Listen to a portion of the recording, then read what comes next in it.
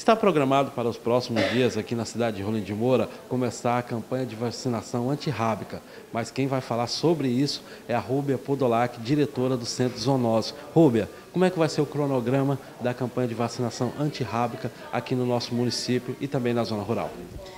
Bom dia, Cleiton. É, no, na zona rural, inicia agora dia 22 até o dia 13 de agosto. O dia D, que é o dia 31 de agosto, será na zona urbana, no caso aqui na cidade né? E esse cronograma ele já foi é, anteriormente programado, já foi avisado, né? Já foi passado para para os setores que corresponde estar é, avisando no caso, porque as enfermeiras, é, os ACS fazem a divulgação nas linhas, né?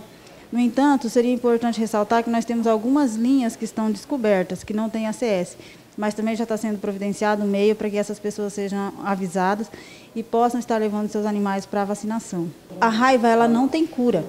O único meio de prevenir é com a vacinação. Se você for infectado, se você for agredido por um animal que está infectado com o vírus da raiva, não há cura, não há tratamento. Sempre contamos com a colaboração dos universitários, né?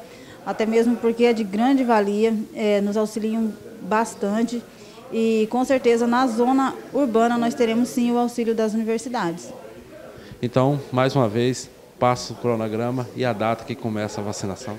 Na zona rural, inicia dia 22 a 13 de agosto, de 22 de julho a 13 de agosto. Na zona urbana, vai ser no dia 31 de agosto. Que é o dia D. É o dia D. Importante, Cleiton, é ressaltar que o vírus da raiva, ele mata não somente o animal, mas se o humano for infectado, ele também mata.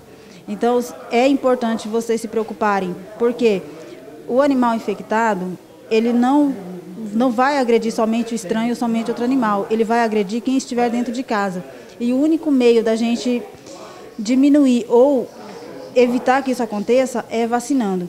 E eu peço também a quem puder para estar tá levando os felinos, porque é o número menor de que a gente tem alcançado é o de felino. E existe uma grande necessidade da gente aumentar esse número de vacinação. O cronograma que vai começar pela zona rural, você já tem a linha que vai começar, Rubia, essa vacinação? Sim, nós iniciaremos agora na segunda-feira, dia 22, na linha 156 Sul. Estamos trabalhando de forma a orientar e comunicar a todos.